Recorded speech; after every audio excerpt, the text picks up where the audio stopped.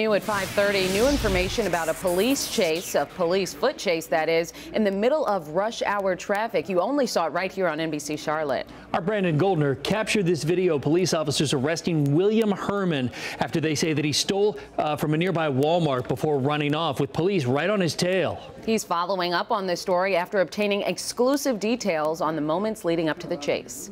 Newly released police dispatch audio reveals some of the terrifying adrenaline filled moments when police say they chased after a man during rush hour traffic who had stolen from Walmart.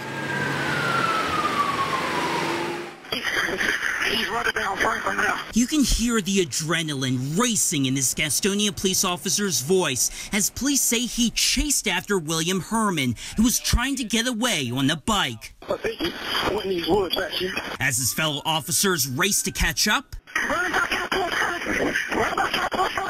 police say Herman cut in front of a car, flying off his bike. A police captain tells me around this time, the officer tased Herman after he tried to pull out what police described as an edged weapon.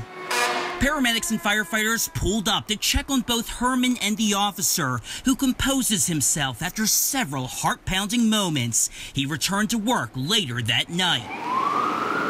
The suspect was checked out at CaroMont before appearing in court this afternoon as a judge read his charges, including attempted larceny and resisting a public officer. At last check, Herman is listed as still in the Gaston County Jail under a $5,000 secured bond. His next court date will be in October. Reporting outside the Gaston County Courthouse, Brandon Goldner, NBC Charlotte.